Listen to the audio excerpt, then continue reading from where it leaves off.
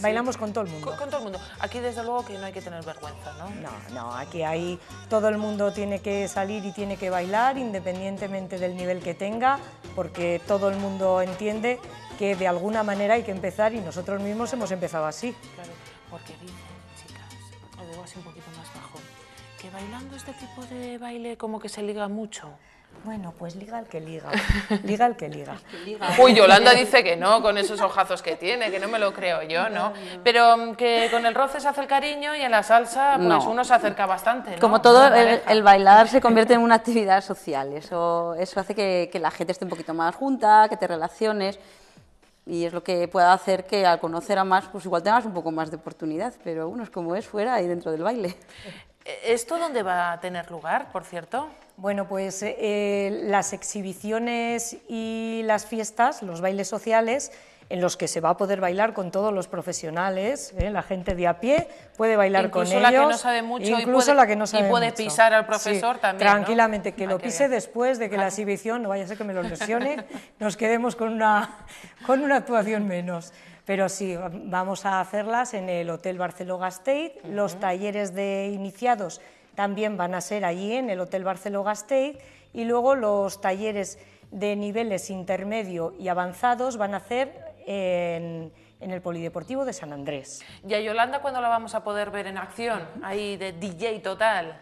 Lo nuestro va más para las noches. Las noches preparamos un poquito las exhibiciones con las músicas que nos traen todos estos grupos maravillosos y luego lo que comporta ya el baile social es lo que nos traemos preparado los demás de casa. Porque como bueno, siempre tenemos anunciado en nuestro cartel y lleva siendo años ya un lema, es un congreso para todos.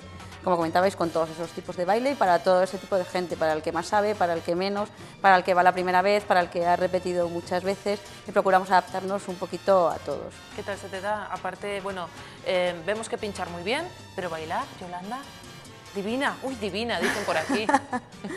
¿Qué tipo de, de baile latino te gusta? A mí siempre lo que más me ha gustado más para bailar es la salsa, porque aunque la bachata siempre es alguna cosita un poquito más sensual, pero es por lo tranquilo. Pero yo creo que la salsa sin, sin mucha figura y, y bailada tranquilamente y sintiéndola y sobre todo escuchando la música, que Hay es lo que que te hace mover ¿no? los pies. Ujú. eso Es romántica bonito. también eh, esta música.